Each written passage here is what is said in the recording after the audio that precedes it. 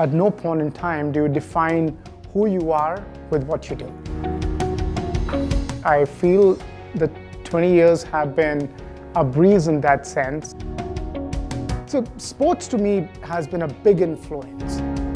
Greatness to me is about helping somebody else achieve much more than what they believe is their potential.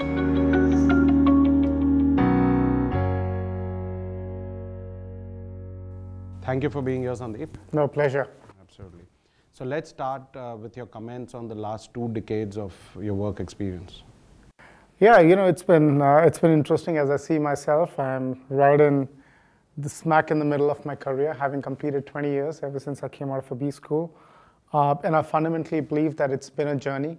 Uh, many a times it felt like a bit of a race, and I think a little bit of a course correction when it felt like a race was a good point. And I think if I was to share one element which I've tried to keep as consistent as possible along these two decades, uh, has been to literally play it day by day as opposed to play it a lot by planning. And I feel the 20 years have been a breeze in that sense, also because I think I've just been very, very fortunate to have worked with amazing set of people in my organization and I think many client organizations that I've partnered with. Great. So 16 of those years has been with uh, Aon, right? Yeah, currently running my 17th year with the firm. Wow, great. So a couple of questions come to my mind when you, uh, you know, I heard you now. Uh, one is, so have there been times where you felt uh, you did not give your best on a certain day? And what were those distractions or why did those happen so you could keep those out of the way and continue give, giving your best. So were there any instances come to your mind where you yeah, thought? I, I think, I think it is, uh, it's quite unusual to have every day to be a great day. Like for example, even if you look at some of the greatest, uh, and being an Indian, you have to draw an analogy from cricket. Uh, look at a Virat Kohli or a Sachin Tendulkar or anybody like them. They potentially have like three or four matches where they really are at their best out of like 10 that they play. Mm-hmm. And I think that's quite the same in your life and quite the same in my life and literally everybody who essentially just comes to work on a daily basis. Because fundamentally, I believe what you do uh, have a lot of externality towards it, right? It is, it is about you finding a lot more things right on that day for you to be able to perform at your best. It's mm-hmm a lot between your years. Uh, like I met up with Shane Watson, and I think he very beautifully said that his best innings were never played between the wickets, they were played between his ears. Okay. So, in my opinion, the mindset that you have on a particular day depends and decides a lot on the kind of day that you're really going to have. And you also mentioned that uh, not you, you, I don't know if you believe uh, in planning now that you made a comment that it's not always, we're not in control of our own plans, right? right. Uh, so do you yet plan? Do you think, uh, is your message out to the younger force who's just coming into the corporate world that take it a bit slow, don't plan? What exactly would be your comments to them as far as planning their career is concerned? Yeah, you know, I would actually say that prepare rather than plan. Okay. Uh, for the simple reason that when you plan and you over plan, you tend to conspire. So I would constantly talk about prepare yourself about your career, about your challenges, about your development, about the newer things that you want to be able to do in life, mm-hmm. uh, as opposed to constantly trying to you know, put that jigsaw puzzle in place because you clearly would not have all the parts of that puzzle ever available or known to you. Uh, so that becomes a lot more critical, at least from the way I can reflect over the last 20 years for myself. Just in a brief conversation, uh, most of your analogies have been around cricket, and now we brought up the Asian Games. And uh, so, do you? I know you're passionate about sports and physical activities. So, do you relate? Do, can you connect that with your experience of the corporate world? Yeah. So, you know, I when when I when I look at sports people uh, and I look at the amount of hard work that they put in, like for somebody to be able to run the 100 meters and get a medal. That's just 100 meters. That gets over for Usain Bolt in like 9.58 seconds, right?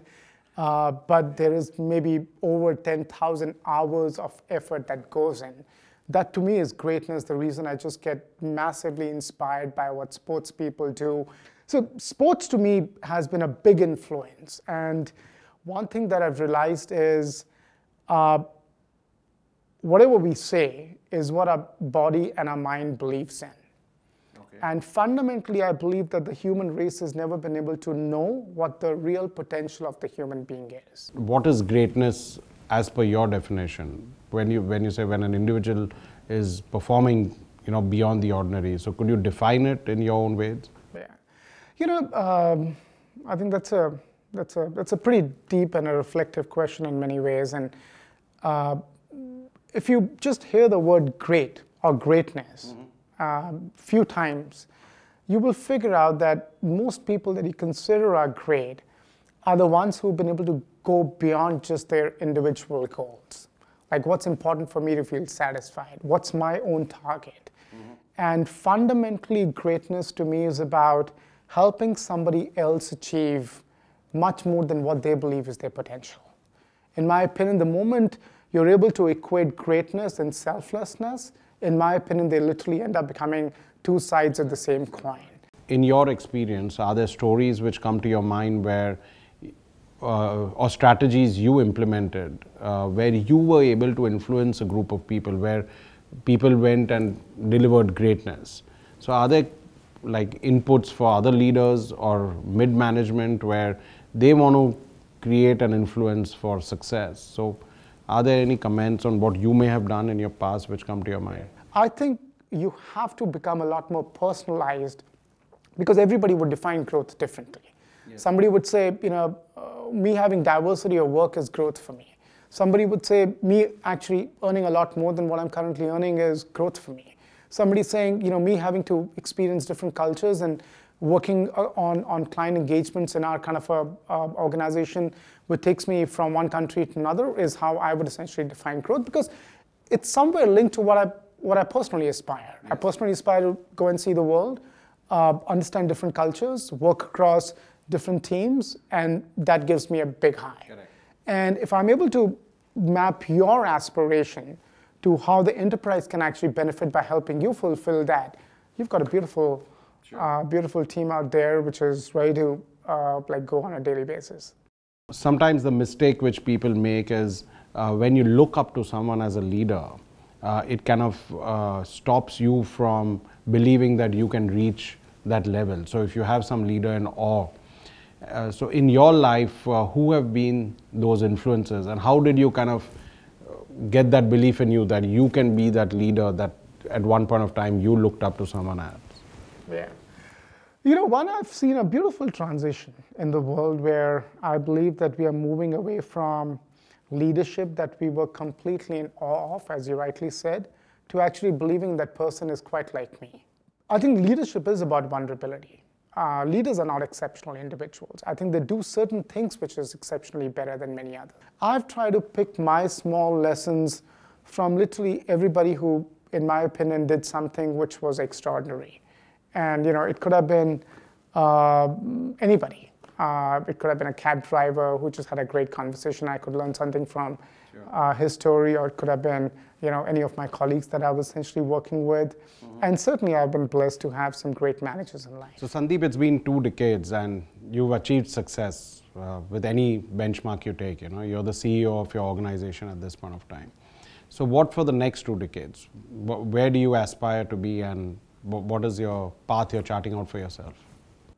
Yeah, you know, uh, I don't think for the previous two decades my ambition and my purpose was to become a CEO. So uh, I differentiate between who I am from what I do. Okay. Uh, and I still believe there is a lot for me to learn, a lot for me to grow, a lot for me to do. I do believe that maybe I will be fortunate enough to have my next two decades being defined a lot more by a deeper purpose statement. Uh, I'm still reflecting. I'm still trying to evolve what that could really be. Great. So thank you very much for your time. It's been an interesting Pleasure. conversation. Thank you. Thank you.